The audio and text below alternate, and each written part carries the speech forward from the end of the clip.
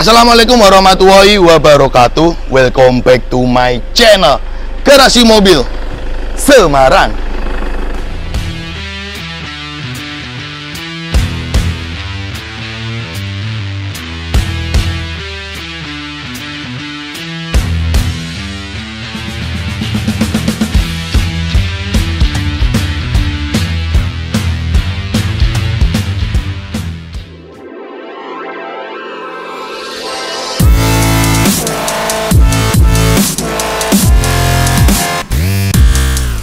Oke bosku, jadi kali ini kita ada project pekerjaan dari konsumen kami Om Agus Unit Innova Diesel 2KD tahun 2010-2011 G Diesel Matic generasi facelift sebelum Grand warna abu-abu yang beliau mempercayakan kami untuk sedikit restorasi ringan modifikasi service all general check up jadi melibatkan beberapa divisi. Pertama divisi mesin untuk service all general check up ya. Kedua divisi modif lampu Proji Pro 7 untuk modifikasi lampu. Ketiga divisi painting karena ada permintaan untuk ngecat pelek. Terus keempat divisi audio karena ada permintaan untuk penggantian head unit Android. Divisi kelima yaitu finishing untuk divisi salon detailing.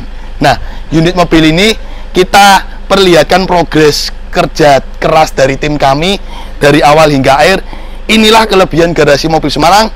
Semua divisi ada di garasi mobil Semarang. Oh iya ada satu lagi divisi kaca film. Karena ada permintaan untuk ganti kaca film Helios Premium. Oke bosku setelah ini tonton video progres tim kami mengerjakan unit mobil ini dari awal hingga akhir. Come Oke bosku, jadi project pertama yang kami lakukan di divisi perlampuan dahulu Proji Pro 7 P730 HV Kami akan eksekusi untuk merestorasi, memodifikasi headlampnya. Nah ini teman-teman bisa lihat P730 HV 50 low beam 60 watt high beam Sudah kita siapkan. Project pertama ini akan menguras waktu sekitar sehari Kita start dari pagi selesai sore hari bosku Oke bosku, mohon maaf banget uh, untuk dokumentasi saat project pengerjaan lampu tidak sempat kita buat dokumentasi karena kesibukan waktu. Nanti setelah divisi lampu selesai, lanjut ke project divisi bengkel mesin GMS untuk service general check up di bagian mesin, kaki-kaki, rem 4 roda. Nah, hari berikutnya kita melakukan general check up apa saja spare part yang perlu peremajaan dan service mobil diesel yang kami lakukan itu melepas intake manifold, pipa EGR, throttle. Nanti kita akan bersihkan kerak-kerak yang mengendal di bagian tersebut. Setelah dilakukan general check up, ada beberapa spare part yang kita siapkan untuk peremajaan dan inilah spare part-spare part yang kami sediakan. Jadi penggantian oli mesin 7 liter menggunakan 10 W30 karena mobil ini kilometernya masih tergolong rendah untuk usia mobil tahun 2010 ya kilometer masih 150 ribu bosku dan kondisi mesin memang saya rasa mobil ini sangat rawat. Setelah itu kita mengganti oli mengganti filter oli filter solar filter AC terus kita melakukan pembersihan rem 4 roda menggunakan brake cleaner. Terus karburator cleaner itu untuk membersihkan kerak-kerak. Finishing air nanti kita lakukan purging diesel.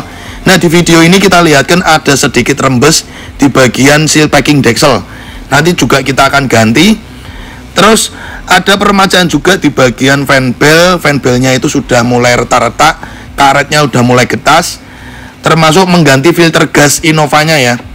Nah ini juga kita lihatkan ada rembes di bagian shockbreaker depan yang nanti juga kita lakukan peremajaan. Terus di bagian kaki-kaki juga ada beberapa yang dilakukan peremajaan dari ball joint dan rack end serta penggantian wiper hybrid di bagian depannya. Dan setelah itu lanjut di hari berikutnya dikerjakan oleh tim divisi kaca film untuk penggantian kaca film full ya dari depan samping hingga belakang. Untuk bagian depan kita kasih 40% sisanya kita kasih 80% bosku. Jadi itulah project yang kami lakukan step by step ya melibatkan beberapa divisi. Nah setelah itu di hasil akhirnya kita melakukan project untuk salon detailing ya Nah ini obat yang kami gunakan untuk step pertama menggunakan Mezerna Cut Compound step kedua ini ada dua botol racian sendiri. Nanti untuk step ketiganya kita menggunakan Maguire Detailer Ultra Polishing Wax. Jadi inilah obat eksterior yang kami gunakan di pemolesan body nah salon di kami juga menggunakan obat di interior untuk anti noda atau blasting untuk membersihkan kerak-kerak yang menempel di plafon, door trim, jok inilah obat-obat yang kami perlihatkan ke teman-teman divisi salon detailing. Nah, kemarin juga ada permintaan konsumen untuk melakukan pengecatan pelek 4 roda hitam glossy. Ini sudah kita cat melibatkan divisi cat GMS. Nah, untuk proses salon di interior jok kita lepasi jadi bisa detail hingga karpet bawah bersih ya, Bosku. Itulah step by step yang kami lakukan untuk membuat mobil ini sesuai konsep yang diinginkan konsumen. Oke bosku, nantikan hasil akhir dari project mobil ini. Nanti juga ada penggantian head unit Android ya, sesuai dengan pesanan konsumen.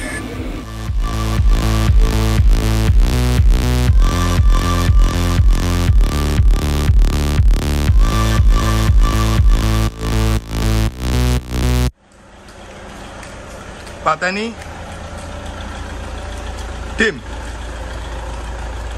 tim, tim.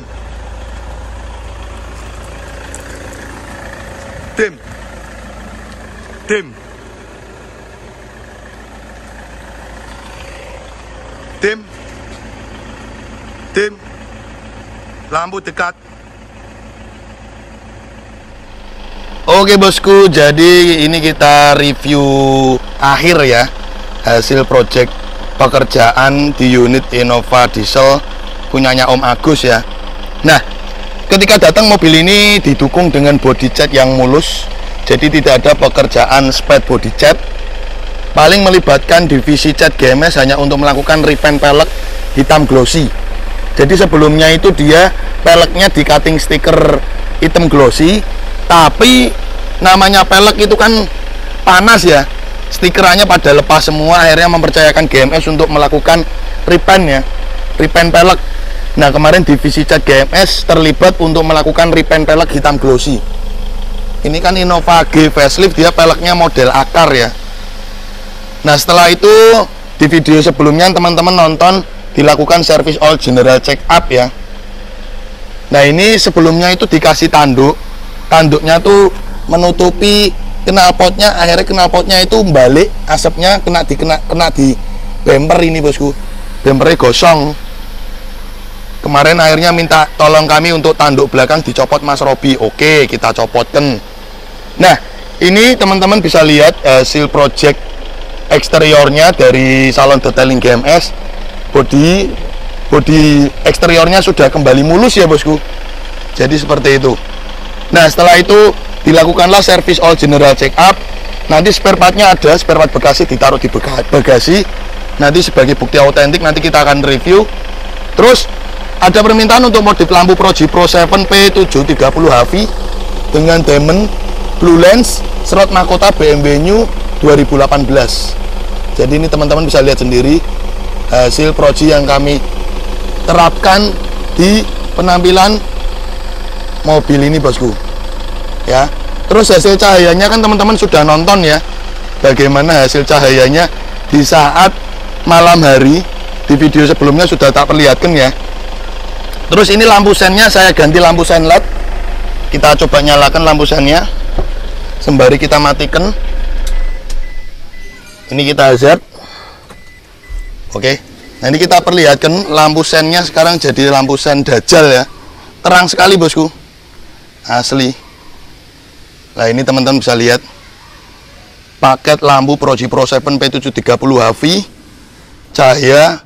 Malammu dibuat terang. Jadi ini tipe proji terendah dari Pro 7 yang kami miliki ya. Hasil cahayanya aja seperti itu bosku. Oke bosku. Terus selanjutnya ada permintaan untuk modif kaca film ya. Pakai Helios Windows film ini. Depan kita kasih 40% sisanya samping-samping sampai belakang 80% terus di interior ini teman-teman bisa lihat interior yang sudah kembali clean. Kemarin kita salon jok kita lepasi. Seal plate-nya ini ya sudah kembali clean. Plafon. Nah ini teman-teman bisa lihat sendiri.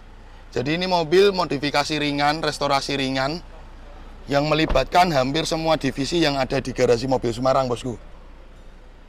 Nah ini kita perlihatkan juga untuk spare part bekasnya ya.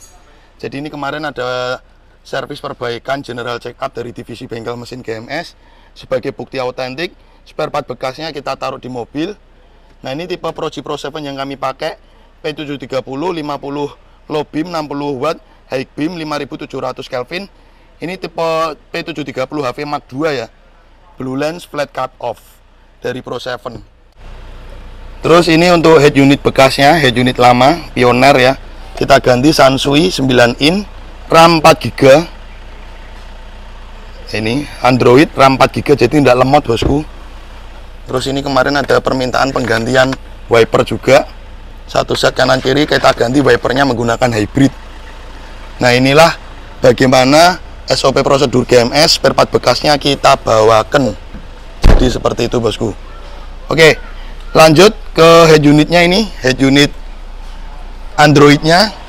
Kita lihatkan nah ini kita lihatkan head unit Androidnya. Sudah support kamera mundur juga bosku.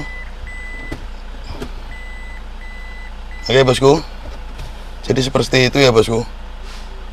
Karena ini tipe G Jadi eh, kesannya Jadi lebih bagus. Kalau tipe V kadang tuh menutupi MID nya Dan ini untuk Tombolnya juga masih berfungsi untuk Tombol hazard ya Oke lanjut kita perlihatkan di bagian kap mesin ya. Di bagian ruang mesin Pak Iwan. Bagian ruang mesin kita perlihatkan yang sudah kita lakukan salon.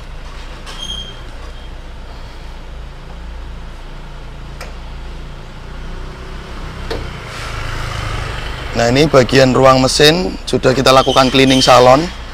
Jadi unit mobil sudah bersih layaknya keluar dari showroom mobil bosku nah inilah project yang melibatkan beberapa divisi di garasi mobil Semarang. Ada sekitar 6 divisi. Divisi mesin divisi lampu divisi audio divisi kaca film terus apalagi divisi cat ngecat pelek sama divisi salon detailing. Melibatkan 6 divisi dari garasi mobil Semarang yang berkecimpung di proyek mobil ini. Oke bosku itu saja laporan singkat dari kami thank you ya sudah nonton dari awal hingga akhir garasi mobil Semarang kita tutup dengan salam. Wassalamualaikum warahmatullahi wabarakatuh. Oke okay guys, thanks udah nonton channel kami Garasi Mobil Semarang. Untuk kalian jangan lupa ya guys untuk klik subscribe button and hit the bell icon biar kita semakin jaya. Like, comment, and share. See you next time.